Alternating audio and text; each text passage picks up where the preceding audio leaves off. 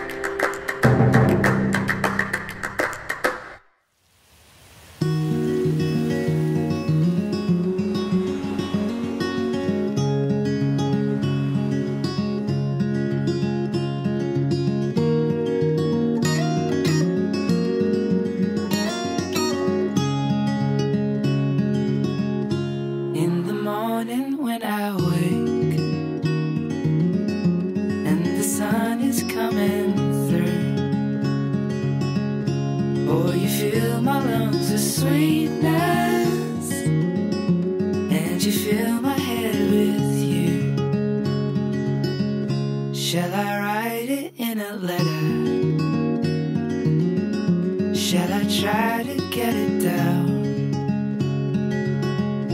Oh, you fill my head with pieces of a song I can't get out. Can I be close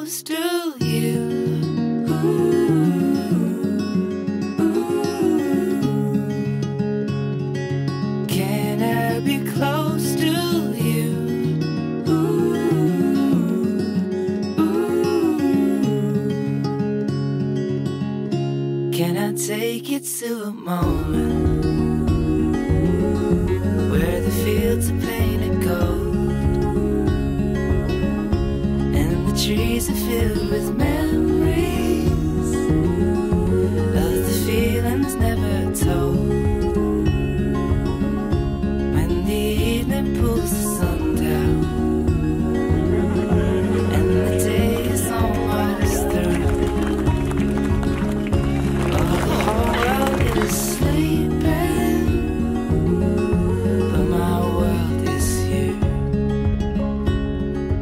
What have I done to deserve the love of this beautiful person? A kind hearted, tolerant, and generous man with a wicked sense of humour and loyalty to his bones. A man who loves me for all of my flaws and faults and treats me like a queen. Tom, although you may not know it, you're such a genuinely beautiful human, and I'll be forever grateful for the love and support you show me each and every day. You've followed me across the country so that I can follow my dreams. And today, as we as we become a family, my wildest dreams are coming true. We've done so much growing together and have so much more to learn about this world. But whatever curveball life throws our way, I promise to love you and be by your side always. Here in our favourite place in the world and in front of all of our closest friends and family, I choose you and I choose us. In this crazy, in this crazy, amazing adventure of life. Wherever we go, we'll go there together. That bad boy too. You are the most wonderful, strong, brave, and loving person I have ever met. This morning, like every morning of my life, I thought about how lucky I am to be able to share a life of adventures with you. Whilst not every day is easy, I find it impossible not to love you. I promise to love you when life is wonderful as well as when it is hard. I promise to love you when we are celebrating as well as when we are sad. I promise to love you when we are safe as well as when we struggle. I promise to love you when we succeed as when we misstep. Above all, I promise to fight for you, support you, and love you on every day and in every way. Loving you is the greatest adventure of all, and I promise to try and make every day as special as this one. It gives me great pride, humility, and happiness now to ask the bride and groom, Hattie and Tom, without any further ado, to seal this ceremony a kiss, and I invite all friends and family to celebrate with me.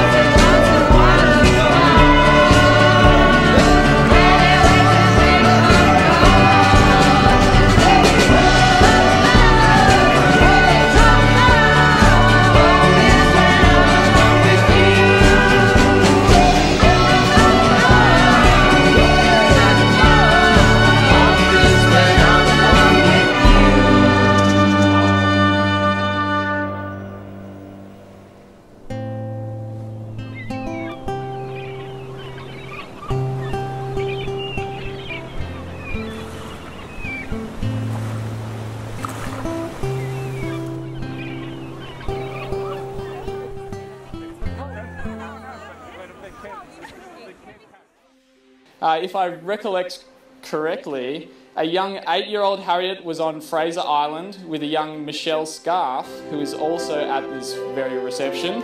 Both of these girls would take turns walking down the aisle somewhere along a beach not too far from here. They would play this song and repeat and take turns being the groom and the bride. A song that many of us hold very dear to our own hearts. I would like to introduce Joe and Rob, Will and Lena, Bridget and Kevin, and finally, Mr. and Mrs. Nairn.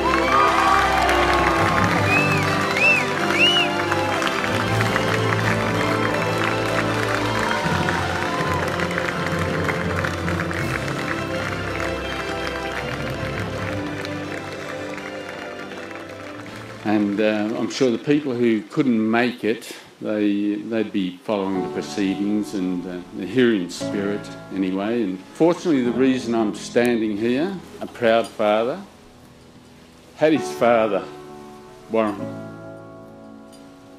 Give me a minute. Getting support. Support's coming. Had he, he would be so, um, so proud and chuffed to see his little girl grow up. Say something. I adored Hattie as a toddler. more than a daughter. I loved her. She was just so such a cute kid. And uh, anyway, after a while, I figured, well, Hattie needed a daddy. For Hattie to get a daddy, I needed to marry Nettie. so uh, anyway, Louis married Nettie. Hattie got a daddy. Bada bing, bada boom. And I just have to say a lots of thanks to you. You've, you've been such a, a model child. I'd say you're just about perfect, Hat. You're a perfect child, really. If I picked a child, a perfect child, here it is. Callan beat a pretty good too. But uh, Tom, you held in there. It's just uh, amazing, amazing man. I love you a bit. I really love you so much. You wouldn't believe it. Nettie, my Janetti, nothing would have happened without you. Because without you, there'd be no Hattie. And without Hattie, there'd be no Hattie Daddy. So,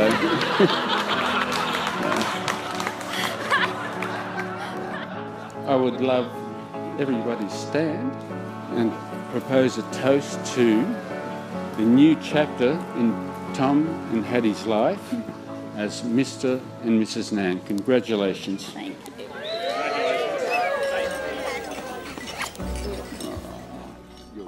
Well, I'd like to sort of start by saying, what is it with my children about not being happy to get married anywhere near Melbourne?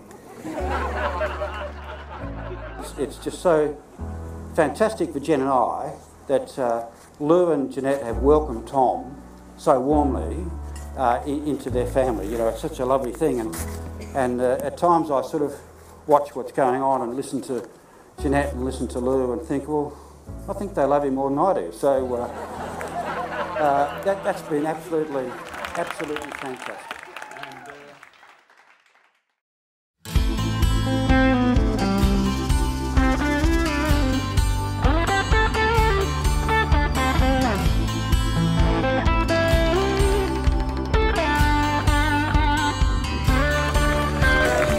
There's something really special about these two. It's not that they're just madly in love with each other, but they're best mates. And they're some of the best friends I've ever seen. The way I try to describe it is think of the bestest friends in the world, but also this unknown kind of love. They're such clear soulmates.